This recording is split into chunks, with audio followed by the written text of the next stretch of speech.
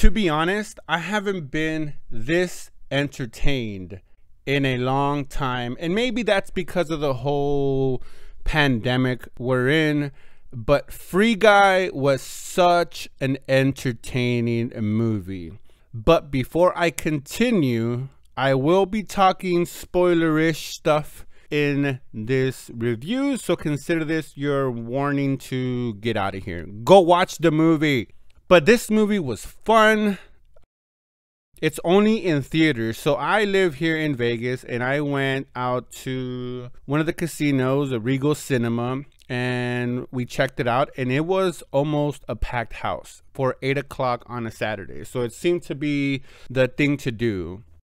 This weekend is to go see Free Guy because even all the showings when I was booking it were selling out pretty fast.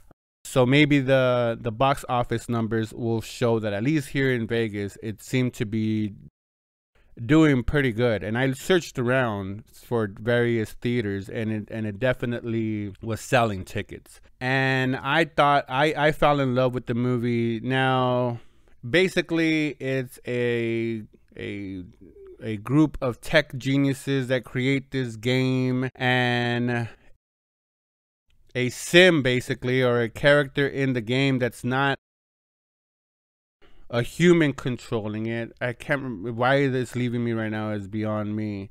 Uh, but it's just one of those like if you played uh, Grand Theft Auto, those ones that kind of that are just there in the background and you run over and basically so Ryan Reynolds characters is one of these, you know, characters in this game but he starts having free will. And the creators of this game understood it that this was a AI, an artificial intelligence that they had created. They didn't know was gonna work, and that's how Free Guy ends up doing the things he does in this movie. I'm trying to not keep it or trying to keep it as spoiler free as possible because uh, I think you guys need to go check out this movie, and you guys will definitely again be entertained and that's basically it. He's becoming more self-aware and as he's becoming more self-aware he wants to fight for his for his right to party right? Now for his right to live you know whatever form that is. I mean it's it's he's he, he's he's self-aware enough to know that he wants to to continue that and not die so that's literally as basic as the premise. Now you do have in outside in the real world, uh, the tech genius played by uh, I'm gonna butcher his name, but I'm gonna call him Korg for all intensive purposes. Taika Waititi. I know I butchered his name, um, but he plays the basically the the head honcho that at first tries to exploit Free Guy for the success and the media exposure because everybody's falling in love with Free Guy. And then he turns into the evil, you know, switches to because he can't control him, he can't market him, he can't make money off of him. So he goes on this rampage to destroy Free Guy, and that's where the the fun, the dynamic or the interesting or the action and whatnot. The casting in this was brilliant. Uh, Channing Tatum comes off in this movie, and I at first I didn't know if it was him because he's introduced fairly early on, but the way he's dressed, the way what he's doing, you can't really tell it's him.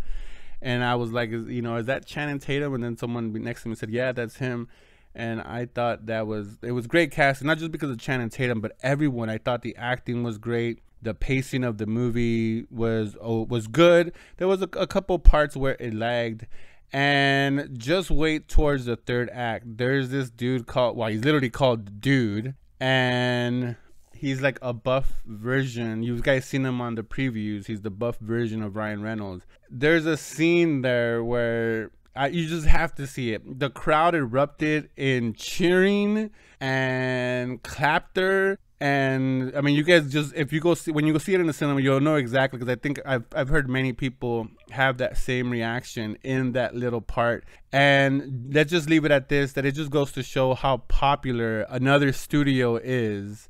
That that thing still has that kind of gravitas, and that cameo was golden golden golden golden so I, I just thought it was it was it, it was it was perfectly done perfectly acted it was a complete joy to watch as when i came in people were just raving about how good and entertaining that was And honestly, like I've been saying, for a, a a summer blockbuster. I don't know if it's considered a summer blockbuster, probably not, but for a summer movie that's just gonna deliver on pure entertainment, uh, this was it. I again, I I found it fun, interesting, and I get it. It's Deadpool in another movie, right? Is Ryan Reynolds now been typecast where no matter what he does, it's just Deadpool now, and people need to stop that because if you see Ryan Reynolds before Deadpool this is the way he acted.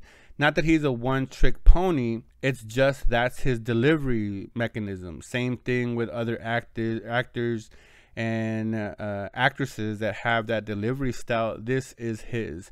It's unfortunate that people just view him now uh, as Deadpool just because he made that character so iconic. So now everybody's like, well, Free Guy is just gonna be, you know, Deadpool playing Free Guy. I get it. I get it. Trust me, I do. I just think it's unfair. And if you go into that with that, I mean, you definitely get that sense. Don't get me wrong. When you see the movie, you're like, wow, you could put Deadpool in this, and it could it could fit just as well. Um, but it, you know, it is what it is. People have their own opinion, but this movie was an A for me. I, I enjoyed it. The crowd response was great. The, there was laughter. There was people that uh, I mean, no one was bored. I, I couldn't see one person that was not into the movie. As I glanced around, people were focused, interactive with it. Uh, again, it, it, hit on the right notes. So for me, it was an A, uh, not an A plus, but it was definitely an A. Not again, not Oscar worthy. It's not gonna win on any awards, but just as pure fun fast paced entertainment that you know delivers on in, in every way in every step of the way. I thought it did a magnificent job. So, anyways, those are just my thoughts. I would love to hear your thoughts down in the comments. And like always, that's a wrap.